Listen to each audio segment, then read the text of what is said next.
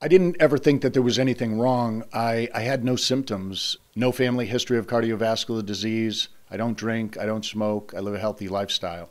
Until I didn't wake up that night in Aruba, I thought I was a perfectly healthy person.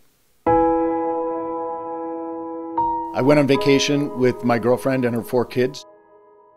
We arrived at about 5 p.m. the first day, had a nice dinner, went to sleep at about 9 o'clock, and my girlfriend found me unconscious and unresponsive at about 2:30 in the morning.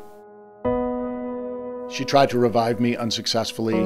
I was transported not by ambulance but essentially by a taxi driver to the local hospital in Aruba. I spent half a day there. I was subsequently transferred via med flight to a hospital in Miami, Florida. When I got to the hospital in Miami, they were trying to figure out why I was in constant ventricular tachycardia, why my ejection fraction was crashing.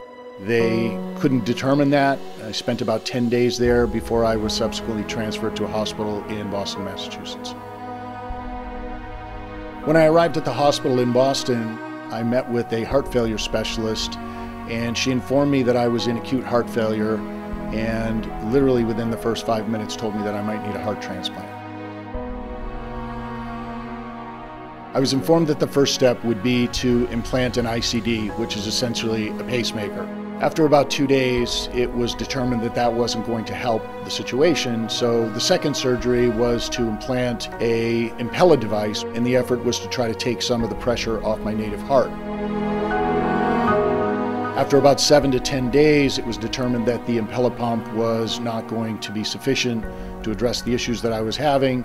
And at that point, a biopsy was done. And the results of the biopsy confirmed that I was diagnosed with giant cell myocarditis, which is one of the rare disorders in the world. It's been diagnosed less than 300 times since it was first discovered in 1905. And unfortunately, the consequences of giant cell myocarditis are grave. Most folks are diagnosed at autopsy. In addition to having a rare disorder, I also am blessed with having a rare blood type, which is O negative. There are about 2,000 hearts available for transplant in the United States each year. Approximately 6.5% of the population is O negative. I needed an O negative heart.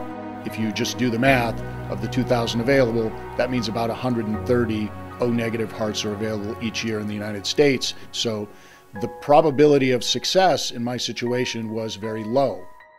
It was at that point that I was put on the transplant list, and a series of additional surgeries took place. The first one was to put me on ECMO, which is essentially life support. The next course of action was to perform another heart surgery. This time, a sternotomy was performed, and this was essentially a bridge to transplant. It was the last surgery that would be performed before a heart transplant, which hopefully would come in time to save my life.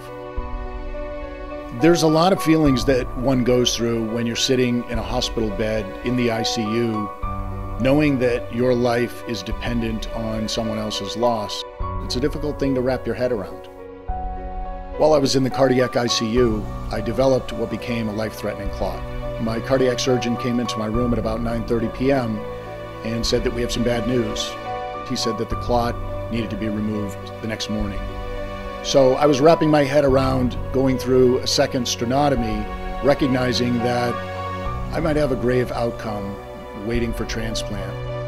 About 45 minutes later, the doctor came back into my room and said, we have some great news.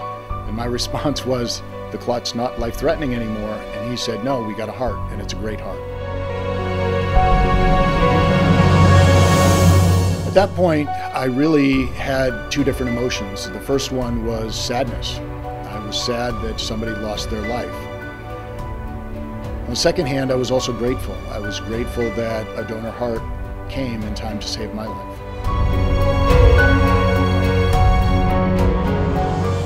Today I'm living a very great life. I'm back to work, I'm with my family, I'm with my loved ones. I'm grateful to the donor family. I'm grateful to my cardiac surgeon and the entire staff at the hospital for all that they did to save my life. I'm here today because of advances made possible by the American Heart Association. I'm grateful for those advances, but there's still a lot of work to be done. My name is John Sperzel, and my family is why.